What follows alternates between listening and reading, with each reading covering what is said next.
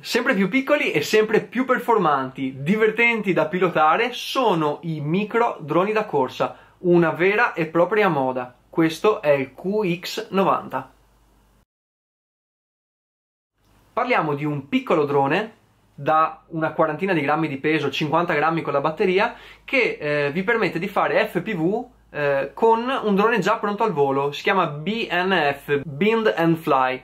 Quindi eh, vi permette di utilizzare la vostra radio, io in questo caso utilizzo una Spectrum, per poter volare con il piccolo QX90 e per poter vedere dove state andando con un paio di occhiali FPV. Innanzitutto ringraziamo Recensioni Droni per averci dato l'opportunità di recensire anche questo piccolissimo quadricottero, ma a parte l'entusiasmo e il divertimento per averlo già provato e poi vi mostrerò le immagini, vi voglio parlare prima di alcune note negative di questo piccolo mezzo. Partiamo da questa telecamerina qui. La telecamerina è valida, ma la saldatura che abbiamo dietro all'antenna è veramente fatta male, tant'è che quando già uscita dalla scatola era particolarmente barcollante l'antenna, ho dovuto dare un punto di saldatura con lo stagno io a casa. Eh, la telecamera non viene fornita già collegata come la vedete, ma viene fornita attaccata con questo piccolo elastico che ho comunque mantenuto su questo drone, ma ho dovuto fissarla con della colla a caldo perché altrimenti barcollava troppo e non sarei riuscito mai a volare, anche per un discorso di inclinazione del, del mezzo stesso. È un mezzo con motori brushed, ma l'avrete già visto, visto che è da un po' che lo sto facendo ruotare qui davanti a voi, ma ugualmente divertente e performante da pilotare. Un altro difetto di fabbricazione, secondo me, è il fatto che qui sotto c'erano dei piedini una volta. Dico una volta perché appena ho provato a farlo decollare e l'ho fatto cadere per terra, eh, i piedini sono saltati via, 3 su 4 piedini. Quindi direi che eh, non servono i piedini, ve li sconsiglio, ecco, io non li rimetto più.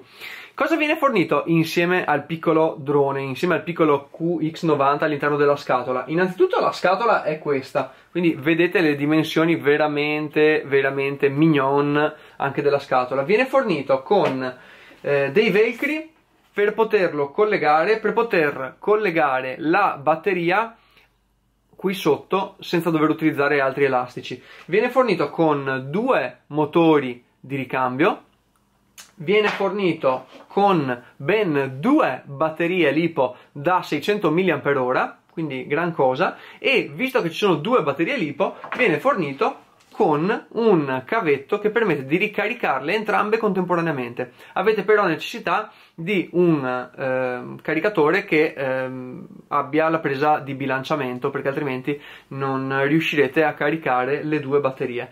Inoltre vengono date anche le classiche 4 eliche di scorta. Qui abbiamo il QX90, armiamo i motori e vediamo come si comporta indoor senza eh, gli occhiali, quindi con il volo a vista.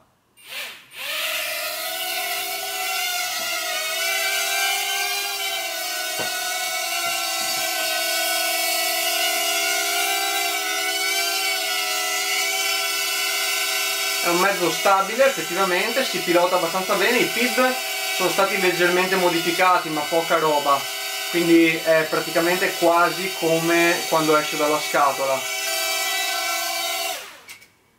Ok, andiamo a provarlo fuori.